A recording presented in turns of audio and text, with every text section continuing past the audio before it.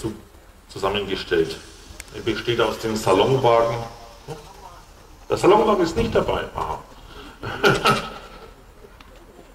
Also schauen wir mal, was er dabei hat.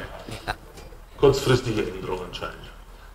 Auf jeden Fall ist die Zuglok dran, das ist die E44002, eine besondere Lokomotive, nicht nur weil sie die Nummer 002 trägt, sondern weil ihre Entstehung und die der Baureihe E44 ausnahmsweise einmal nicht von dem Transportbedarf der Reichsbahnverwaltung ausging. Das war damals die Deutsche Reichsbahngesellschaft. Die Initiative kam von der deutschen Lokomotivindustrie unter einem Auftragsrückgang infolge der Wirtschaftskrise neue Entwicklungen vorstellen wollte. Drei deutsche Lokomotivfabriken bauten daraufhin Prototypen einer neuen Mehrzwecklokomotive und übergaben sie